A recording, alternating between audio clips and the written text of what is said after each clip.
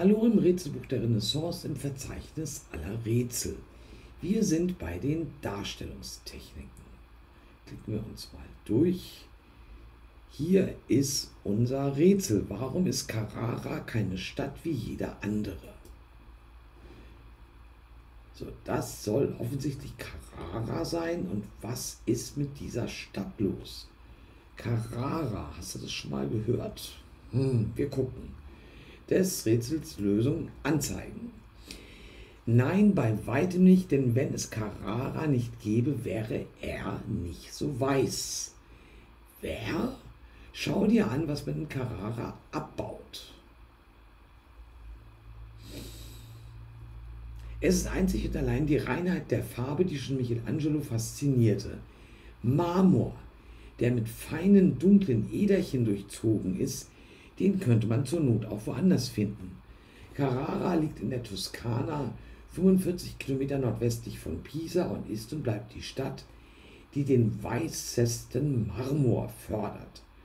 Sobald Marmor geschliffen und poliert ist, würde eine Kugel dann so aussehen. Und wenn ein Bildhauer wie Michelangelo den Block in die Finger bekäme, dann könnte er so aussehen. Das ist die Statue des Moses von 1515 aus Marmor.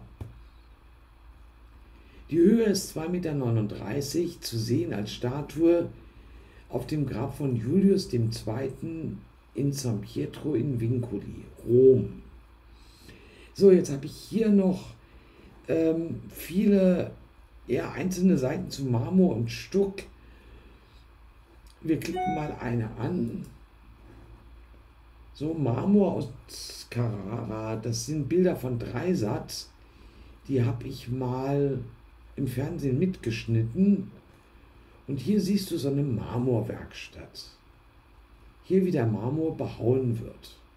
Dann der Wikipedia-Artikel zu Carrara. Und wir nehmen die zweite Seite. So, wieder Marmor.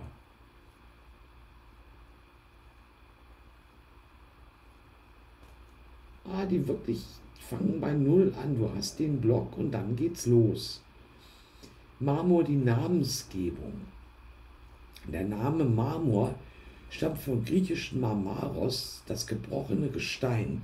Chemisch gesehen ist Marmor nur Calciumcarbonat, also eine Form von Kalk.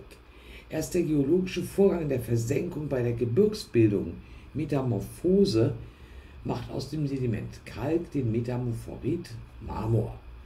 Der Carrara-Marmor war ursprünglich also ein Kalkschlamm am Boden des Tethys-Meeres aus der Zeit des untersten Jura und somit ist er etwa 200 Millionen Jahre alt. Grünlich-graue Verfärbungen rühren von Verunreinigungen durch Minerale her. Neben Kohlenstoff in Form von Graphit sollen Chloridminerale und Pyrit für solche Verfärbungen verantwortlich sein. Diese Verfärbungen sind zum Beispiel im Bodenbelag des Petersdoms erkennbar. So, wir stoppen jetzt mal hier. Also Marmor.